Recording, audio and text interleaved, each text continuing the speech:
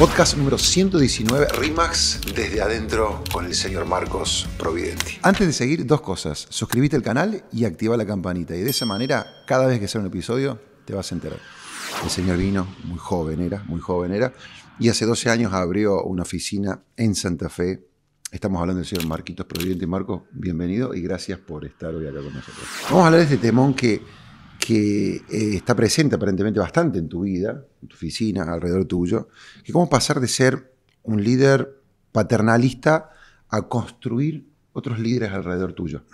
Yo creo que- Paternalista, ¿viste? O sea, ¿no? Sí, es que yo hubo un tiempo donde me consideré paternalista, donde estaba mucho más encima y reconozco que tenía que ver con que yo estaba enfocado en resultados.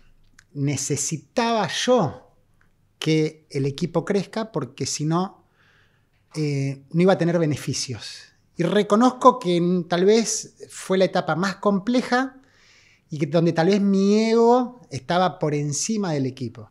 Fui avanzando, fui aprendiendo, me fui golpeando. Fue una transformación que primero fue teórica y después como que empecé a sentirla. Al principio como que sentí que hacía algunas cosas por obligación, como por obediencia.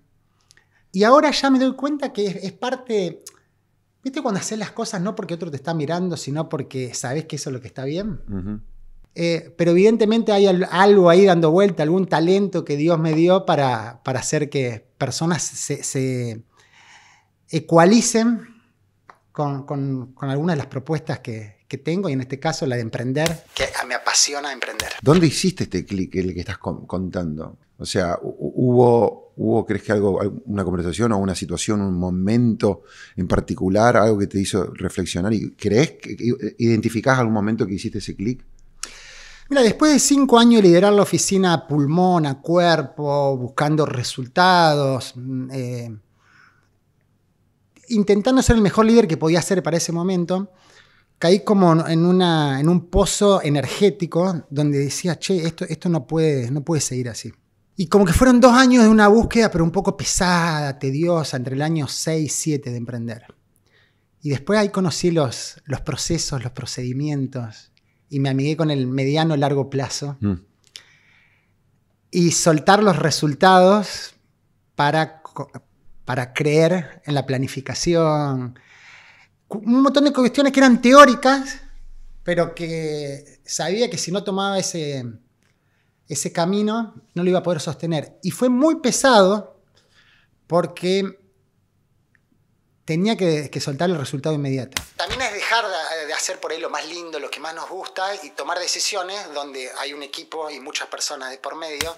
De- En algún momento decidiste formar o, o tras- transmitir esto, ¿no? De formar líderes alrededor tuyo, ¿puede ser? Sí, eh, un poco entendiendo y siendo obediente con lo que era la, la carrera. Maxwell tiene eh, eh, en, en uno de sus libros lo- la- la- los cinco estadios de liderazgo y, Cinco y hay una parte que es que después de, tener, de, de alcanzar tus objetivos, empezar a desarrollar personas para después como transformarte en leyenda. Y yo decía, bueno, si yo quiero ir creciendo, tengo que transformar líderes. Y ahí es donde digo que una parte es la, cuando uno es obediente y va por la teoría, y otra cosa es como está pasando ahora, donde yo veo parte de mi equipo que tienen junior, asistentes, community, y digo, wow, ver a un- una Meli Carmelé que está en su mejor presente después de nueve años estar en conjunto, es como esa retroalimentación y eso, esa satisfacción de, wow, crecimos juntos, arrancamos juntos y, y ya no es que vos estás haciendo lo que yo te digo que tenés que hacer. Vos liderando, me estás enseñando a mí a tomar otras decisiones y es como un, un ida y vuelta donde se hace cada vez todo más grande, más poderoso, con más influencia, con... y sobre todo cuando hacemos todo esto con valores, como lo hicimos desde el principio. ¿Qué es lo que vos crees que ha sido lo mejor que, que has hecho por, por tu ciudad? ¿Qué aporte por los que, lo rode, por los que te rodean? ¿no? Después de haber viajado por, por muchas partes de- de- del mundo y me considero ciudadano del mundo, haber vuelto a Santa Fe y poder crear un espacio donde emprendedores encuentren un lugar para desarrollarse, tiene esa parte donde, donde yo creo que, que- hacemos una mejor ciudad, al poder, eh, al poder ser cada uno Y, en esta Argentina tan castigada como tenemos hoy, donde parecería que el querer dar un paso, el querer crecer económicamente, empresarialmente, emprendedorísticamente, es, es como un tabú, em, para mí ese fue el mayor aporte. Y yo siento que he recibido mucho de mis líderes eh, y un poco trato de replicar eso, y eso es parte de la cultura también. Así como yo he recibido mucho, poder también dar mucho, que siento que tengo más capacidad de dar que de recibir. Un beso grande, Seba Sosa, y esto fue Emprende con propósito. Recuerda, abraza un propósito, desafía al mundo e inspira a otros. Hasta la próxima.